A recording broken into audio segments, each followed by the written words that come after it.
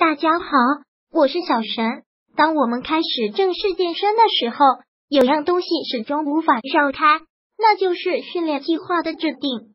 如果你的健身只是偶尔去拉拉单杠、做做俯卧撑，没有目的，那这种方式只能叫锻炼。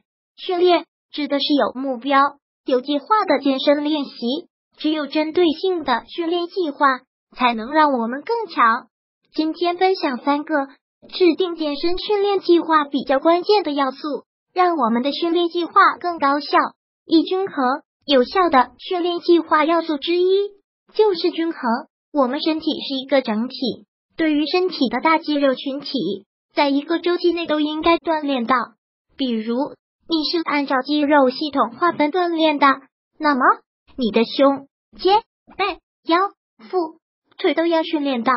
训练计划举例。周一练胸、肩膀跟三头，周二练腿跟腰腹，周三练背跟二头，周四休息，周五练胸、肩膀跟三头，周六练腿跟腰腹，周日练背跟二头，下周继续来一个循环。这样的计划是比较均衡的。当然，你可以按照你的侧重点安排针对于你个人的训练计划。如果你的训练计划是。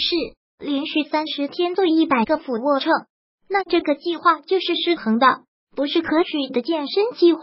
同理，按照力量模式、腿推拉核心来制定训练模式，也要求均衡。训练计划制定的第一点要求就是要均衡。二、适当超量。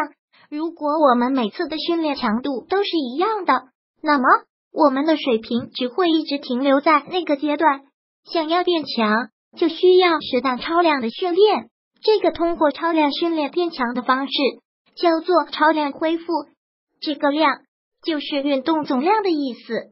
比如你今天练引体向上，你做了五组八次，那么你的训练总量就是引体向上五组八次。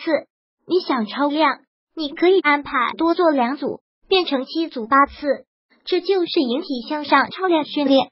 你也可以做小负重引体。五组八次，这也是引体向上的超量训练。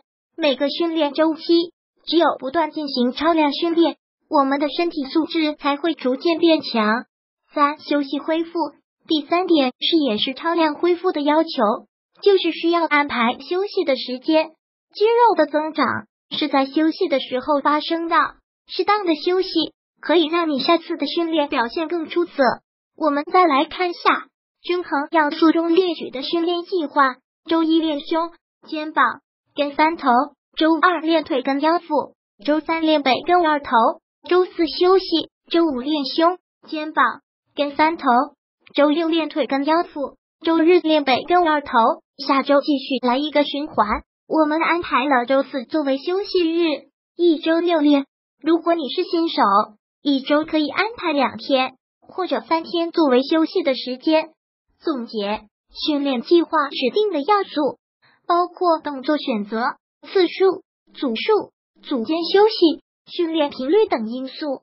文中提到的三大要素，主要指出训练计划制定的大致方向。